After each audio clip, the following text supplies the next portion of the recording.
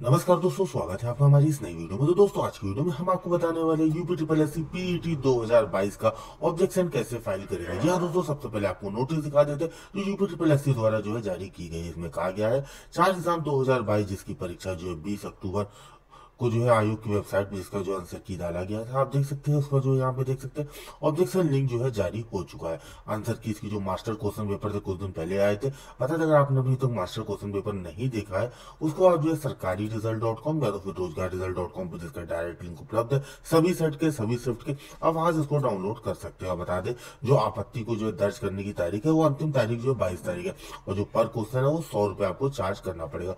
तो आपको objection file करने के लिए यहाँ पे एक लिंक मिलेगा, बता दिए लिंक आपको सरकार रिज़ल्ट डॉट कॉम रोज़गार रिज़ल्ट डॉट कॉम हमारी वीडियो के डिस्क्रिप्शन में मिल जाएगा। तो जैसे हम यहाँ पे क्लिक करेंगे तो यहाँ पे आपको दो चीज़ें देनी है। पहले आपको अपना रजिस्ट्रेशन नंबर देना है, दूसरा आपको अपना रोल नंबर देना है। रोल नंबर देने के बाद आपको लॉग पे क्लिक करना है। तो चलिए लॉग करते हैं। जैसे आप लॉगिन करेंगे तो यहाँ पे कुछ इंस्ट्रक्शन आपको दिखाई देंगे। इंस्ट्रक्शन को आपको फॉलो करना है। फॉलो करते हुए यहाँ पे आपको प्रोसीड का बटन दिखाई देगा। आपको उस पर क्लिक करना है।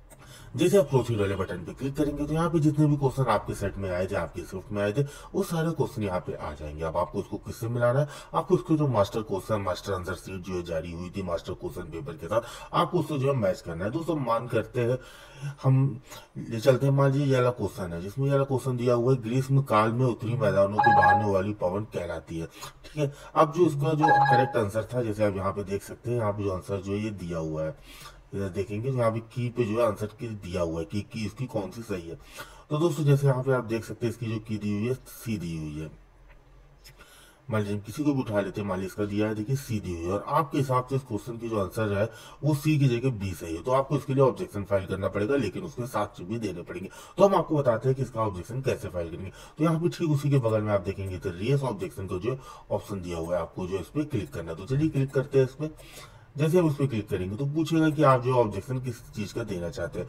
क्या आप जो औपचारिक उत्तर कुंजी में दिया गया प्रश्न का उत्तर गलत है क्वेश्चन ही गलत है, क्या सारे विकल्प गलत है? तेरा नो प्रश्न के एक से अधिक उत्तर सही है। प्रश्न हिंदी, अंग्रेज़ी अनुवाद में तथ्यांक भिन्नता है। क्वेश्चन जो है सिलेबस के बाहर का जो भी आंसर है आप उसका दे सकते हैं, जो भी आपको ऑब्जेक्शन का टाइप है, आपको ऑब्जेक्शन का टाइप क्लिक करना है, जैसे हमने इस पर क्लिक कर दिया। फिर यहाँ पे आपको रीजन देना है कि क्या रीजन है, जिसकी वजह से जो है आपको देना है रीजन आप जो हिंदी, अंग्रेज़ी जैसे चाहे, वैसे जो आप लिख सकते हैं, लेकिन पाँच शब्द के ऊपर नहीं होना चाहिए। उसके बाद आपको रिफरेंस देना है। रिफरेंस में आप बुक न्यूज़ पेपर मैगजीन या कोई आपके ऑफिशियल वेबसाइट है उसका लिंक वगैरह दे सकते हैं।